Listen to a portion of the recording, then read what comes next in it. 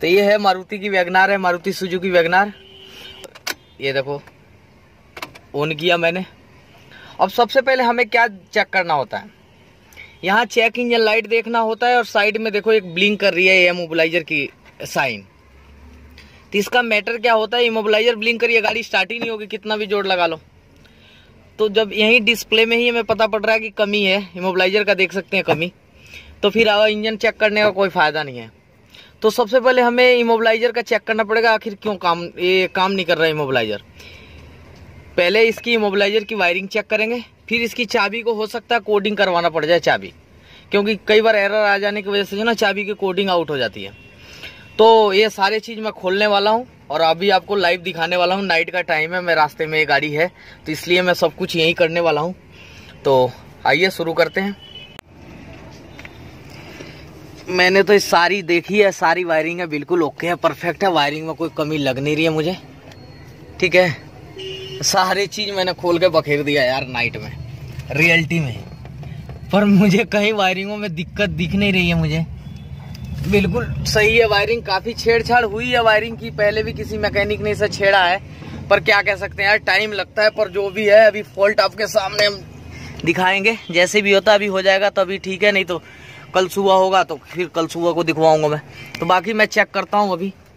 क्यों वायरिंग तो सारी चेक कर ली। अब प्रॉब्लम अभी सेम सेम टू सेम है। ये देखो, गाड़ी स्टार्ट नहीं हो रही है। देख रहे हो ना क्रैंकिंग गाड़ी स्टार्ट नहीं होगी, कितना कर ले। तो अभी मैं इसकी देखता हूँ अभी।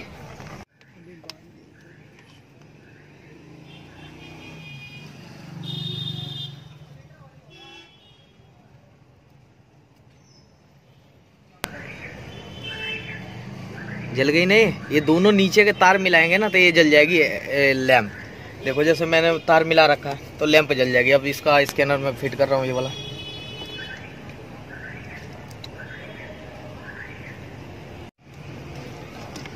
अभी हम सबसे पहले इसकी कोडिंग चेक करेंगे, यार कोडिंग आउट तो ना हो गई है तो बस इतना।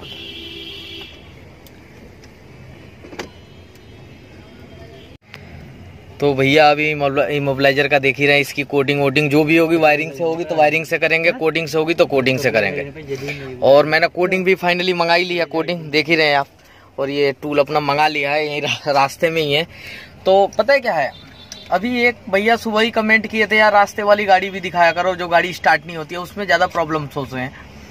तो इसलिए मैं ये सब शुरू कर रहा हूँ। रास्ते में भी प्रॉब्लम आई है मोबलाइजर की। ऑटोमेटिक यार, चाबी एरर हो गया, बताओ। अब वायरिंग में चेक कर रहा हूँ क्योंकि चाबी ऐसे एरर होती नहीं है जल्दी से। तो वायरिंग में फॉल्ट निकलता तो वायरिंग में नहीं तो स्कैनर तो लेके आया मैं साथ में। तो स्कैनर से भी करके कंप्लीट करके दूँगा जहाँ फॉल्ट निकलेगा वहाँ दूँगा। मैं चेक कर, कर रहा हूँ वैसे। कंटिन्यू नाइट की वजह से वीडियो कट कर रहा हूँ। पूरी डिटेल में कोडिंग का वीडियो दिन में बनाऊँगा अच्छी तरीके से बना के दूँगा। तो फाइनली जो है ना कोडिंग कर दी इसकी। और वह कोडिंग की प्रॉब्लम थी इसमें। तो पूरी कंप्लीट कोडिंग कर दी और आप देख सकते हैं, अभी मैं बैक कर देता हूँ इसे। ठीक है? ओके तो ये देखो फाइनली हमारा गाड़ी ओके हो गया है। अभी सेट हो गया। है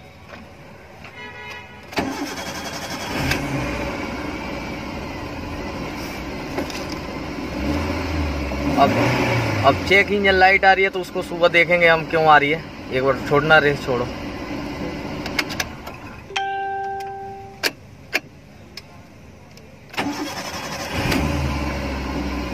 तो ये है फाइनली हमारी गाड़ी ओके हो चुकी है। और पता है क्या है?